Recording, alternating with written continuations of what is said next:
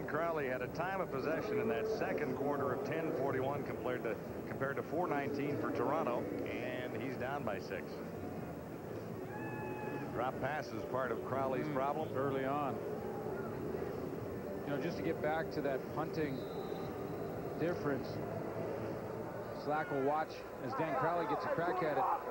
Glenn Harper out-punted Noel Prefontaine in the first half. His average was about eight yards better. See what happens without him. Josh Ranek. And O'Shea was one of the Argos there along with Martavius Houston. A lot of people will say, you know, it's just the punter. It's not a big deal. Get someone else to punt it. But it is a big deal when you're talking about that much real estate and the difference.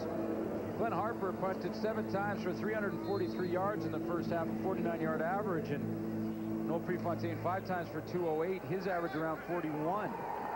And that's a lot of real estate over that amount of punts. 56 yards, as a matter of fact, for the Ottawa Renegades. Early movement there. Crowley goes to the far side, almost nabbed by Orlando Steinauer, number 21.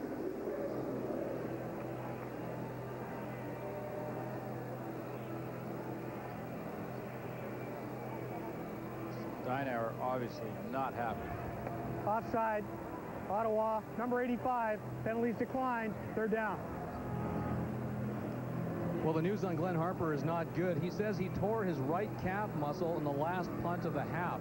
Now, in training camp, he tore a left quad as well, so he's had a little bit of a rough start to this season. He's definitely gone for this game, but it's too early at this point to say whether this will be the only one or if this is going to continue into the next few weeks.